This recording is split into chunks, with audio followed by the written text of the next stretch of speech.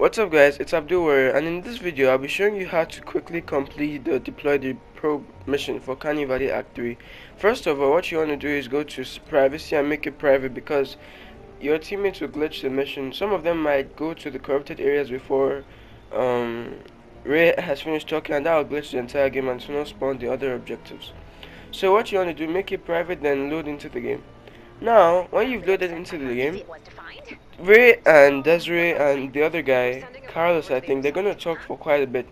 Make sure they finish talking before you do anything related to the mission, because that could glitch the game. When they finish, when Ray finishes talking about being negative and blah blah blah, and you know, then what we're gonna do, we're gonna go to the corrupted areas one, two, and three. Try to jump into the purple thing in the middle of the corrupted areas, just to make sure it works. and go to all corrupted areas. When you've done that, they'll keep talking. There's three talking sequences. for the first, second, and third. When all of them are finished, it will say deploy the armory, deploy the launcher, and go to the rift. Then you do those.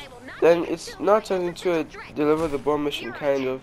You're going to transport the bomb, and when it reaches the launcher, you finish the mission. And that's it, guys. Very easy. You just have to be a bit patient with the um, with the talking parts of the game.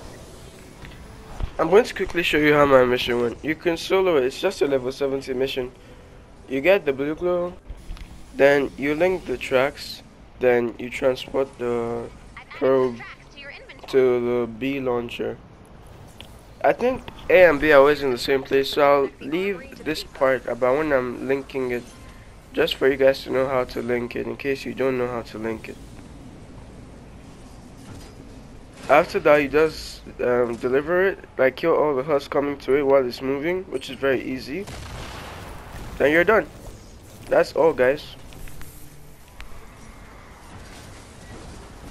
Now that I've linked it I'm gonna um, deliver it and when you deliver it to say something like deposit BluGlo into the into the launcher for the probe I think you should ignore that because for me it just skipped and that was all Alright guys, that's it. I don't know if maybe you might have to get BluGlo, but for me I didn't have to get BluGlo. So guys, that's how to deliver the the probe for the first mission of Canny Valley Act 3. I hope you found this video helpful and I'll see you in the next one. Don't forget to subscribe and hit the bell notification so you immediately see whenever I post new content. Thanks for subscribing.